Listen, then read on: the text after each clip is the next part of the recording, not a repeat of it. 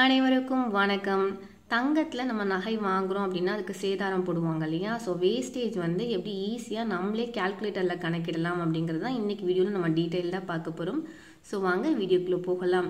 பொதுவாக சேதாரம் பார்த்தீங்கன்னா சதவீதத்தில் தான் மேக்ஸிமம் கடைகளில் போடுவாங்க. பதினெட்டு சதவீதம் சேதாரம் பதினஞ்சு சதவீதம் பத்து சதவீதம் இது மாதிரி சொல்லுவாங்க. அப்படி இல்லைன்னா உங்களுக்கு சில கடைகளில் வந்து மில்லிகிராமில் சேதாரம் போடுவாங்க. நூறு மில்லிகிராம் ஐநூறு மில்லிகிராம் சேதாரம் அப்படியும் சொல்லுவாங்க. சில கடைகளில் கிராம்லையும் சொல்லுவாங்க. அதாவது நீங்கள் ஒரு கிராம் சேதாரம் ஒன்று புள்ளி ரெண்டு கிராம் சேதாரம் இது மாதிரியும் வந்து உங்களுக்கு சொல்லுவாங்க. ஸோ வந்து இதை எப்படி கால்குலேட் பண்ணணும்னு பார்க்கலாம். இதுக்கு வந்து நம்ம ஒரு எக்ஸாம்பிள் எடுத்துக்கலாம்.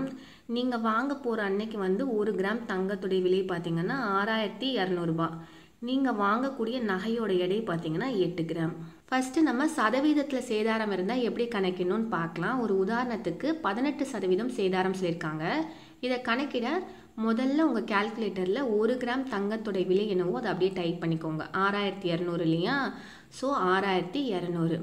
அடுத்ததாக இன்ட்டு போட்டு நீங்கள் வாங்கின நகையோட எடை. நம்ம உதாரணமாக எட்டு கிராம் எடுத்திருக்கோம் இல்லையா? அதனால் இன்ட்டு எட்டு. ஒருவேளை நீங்கள் வாங்கின நகையோட எடை வந்து ஆறு புள்ளி ரெண்டு கிராம் இருக்குது அப்படின்னா இங்கே ஆறு புள்ளி ரெண்டுன்னு போட்டுக்க வேண்டியதான் ஒருவேளை ஏழு புள்ளி அஞ்சு ஒன்று கிராம்னு இருக்குன்னா ஏழு புள்ளி அஞ்சு ஒன்றுன்னு நீங்கள் போட்டுக்கலாம். ஓகேங்களா? ஸோ வந்து நம்ம உதாரணமாக எட்டு கிராம் எடுத்திருக்கனால இன்ட்டு எட்டு. அடுத்ததாக இன்ட்டு போட்டு உங்களுக்கு எத்தனை சதவீதம் சேதாரம் சொல்லியிருக்காங்க? பதினெட்டு சதவீதம் இல்லையா? ஸோ பதினெட்டு போட்டு சதவீதம் சிம்பிள் போட்டு ஈக்குவல் டு ப்ரெஸ் பண்ணால் உங்களுக்கு எவ்வளோ வருது? எட்டாயிரத்தி தொள்ளாயிரத்தி இருபத்தெட்டு ரூபா வருது இல்லையா? இதுதான் வந்து நீங்கள் சேதாரமாக கொடுக்க வேண்டிய அமௌண்ட்டு ஒருவேளை உங்களுக்கு சேதாரம் வந்து மில்லிகிராமில் சொல்கிறாங்க அப்படின்னா அப்போ எப்படி கணக்கிடணும்னு பார்க்கலாம். ஒரு உதாரணத்துக்கு இரநூறு மில்லிகிராம் சொல்லியிருக்காங்க. ஸோ இதை கணக்கிடுறதுக்கு முதல்ல உங்கள் கால்குலேட்டரில் ஒரு கிராம் தங்கத்துடைய விலை வந்து அப்படியே டைப் பண்ணிக்கோங்க. ஆறாயிரத்தி இரநூறு. அடுத்ததாக இன்ட்டு போட்டு உங்களுக்கு எத்தனை மில்லிகிராம் சேதாரம் சொல்லியிருக்காங்க? இரநூறு மில்லிகிராம் இல்லையா? அப்போ ஜீரோ புள்ளி ரெண்டு ஜீரோ ஜீரோ நூறு மில்லிகிராம்னா ஜீரோ புள்ளி ஒன்று ஜீரோ ஜீரோன்னு போடணும். ஒருவேளை ஐநூறு மில்லிகிராம் சொல்கிறாங்கன்னா ஜீரோ புள்ளி அஞ்சு ஜீரோ ஜீரோன்னு போடணும். நம்ம உதாரணமாக இரநூறு மில்லிகிராம் எடுத்திருக்கனால ஜீரோ புள்ளி ரெண்டு ஜீரோ ஜீரோ போட்டிருக்கோம். போட்டு ஈக்குவல் டு ப்ரெஸ் பண்ணால் உங்களுக்கு எவ்வளோ வருது? ஆயிரத்தி இரநூத்தி நாற்பது ரூபா வருது இல்லையா?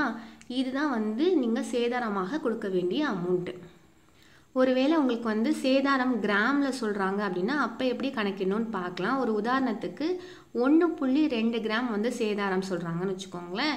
இதை கணக்கிட முதல்ல உங்கள் கால்குலேட்டரில் ஒரு கிராம் தங்கத்துடைய விலையை அப்படியே டைப் பண்ணிக்கோங்க. ஆறாயிரத்தி இரநூறு. அடுத்ததாக இன்ட்டு போட்டு உங்களுக்கு எத்தனை கிராம் சேதாரம்? ஒன்று புள்ளி ரெண்டு கிராம் இல்லையா? அப்போ ஒன்று புள்ளி ரெண்டு. போட்டு ஈக்குவல் டு ப்ரெஸ் பண்ணால் உங்களுக்கு எவ்வளோ வருது? ஏழாயிரத்தி நானூற்றி நாற்பது ரூபா வருது இல்லையா? ஸோ இதுதான் வந்து நீங்கள் சேதாரமாக கொடுக்க வேண்டிய அமௌண்ட்டு ஸோ ஸோ இந்த வீடியோ உங்களுக்கு யூஸ்ஃபுல்லாக இருந்தது அப்படின்னா சேனலை சப்ஸ்கிரைப் பண்ணுங்கள் லைக் பண்ணுங்கள் ஷேர் பண்ணுங்கள் வீடியோ பற்றின கருத்துக்களை கண்டிப்பாக கமெண்ட் பண்ணுங்கள் நன்றி.